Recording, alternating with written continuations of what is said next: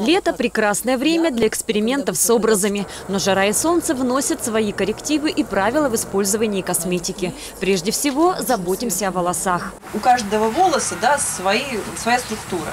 И задача у нас какие-то волосы напитать, какие-то волосы успокоить. То Как и кожа, волосы конечно, очень страдают от прямого попадания ультрафиолета. Никакие панамки и головные уборы полностью не защитят от их вредного воздействия. Единственный выход – ежедневное использование лаков и спреев со специальной защитой. Высокий хвост или пучок – лучшая прическа для жарких дней. Если вы не хотите пучки и любите там свои роскошные распущенные волосы, то вы можете наносить солевые спреи. Сейчас тоже очень много брендов.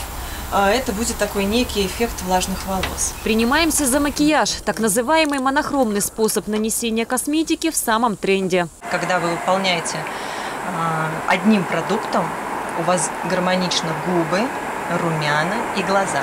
На губы я нанесла, причем это такая, знаете, как техника а, поцелуя.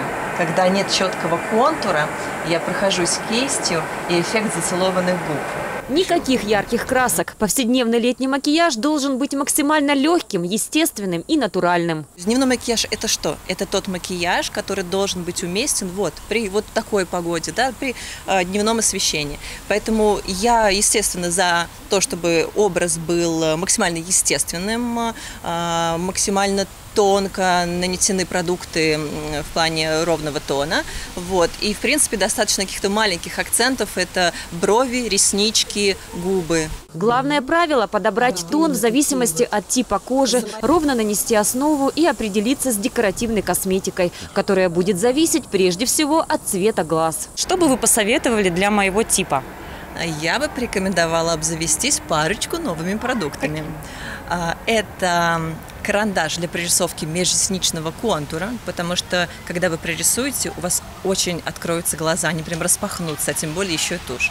И губную помаду а, такого цвета ягодного, даже, может быть, персиково-розового тоже будет очень хорошо. Если придерживаться этих простых правил, а главное не забывать про защиту от ультрафиолета и увлажнения кожи и волос, вы будете неотразимы в любую погоду. Полина Бахова, Фарид Харидинов, телекомпания «Одинцова».